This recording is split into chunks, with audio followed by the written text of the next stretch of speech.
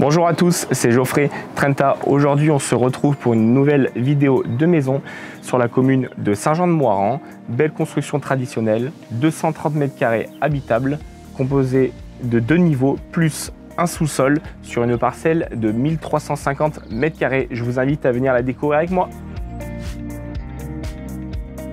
Nous voici dans le séjour de 50 mètres carrés donnant accès sur la terrasse exposée plein sud et grâce aux 5 ouvertures, vous pourrez bénéficier d'un ensoleillement total tout au long de la journée.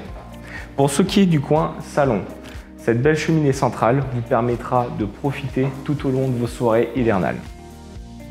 On se retrouve maintenant dans la cuisine, entièrement refaite à neuf il y a un an par Schmidt, entièrement équipée. Donc vous retrouvez plaque induction, hotte, lave-vaisselle, four, frigo et bien entendu le magnifique plan de travail en marbre. Maintenant que je vous ai présenté les pièces principales de la maison, on se retrouve dans le coin de nuit composé d'un WC, de la salle de bain et de trois grandes chambres.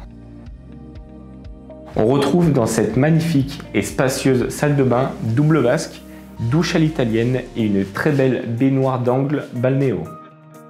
Dans le sous-sol complètement aménagé de 130 mètres carrés, vous retrouvez un garage pouvant stationner trois voitures, un atelier, une buanderie, une salle de bain avec WC et un bureau. Au deuxième niveau d'habitation de la maison, vous retrouverez une salle d'eau de 10 mètres carrés avec un WC, 42 mètres carrés à aménager en plus si vous le souhaitez, et actuellement une mini boîte de nuit de 60 mètres carrés pour faire la fête toute la nuit.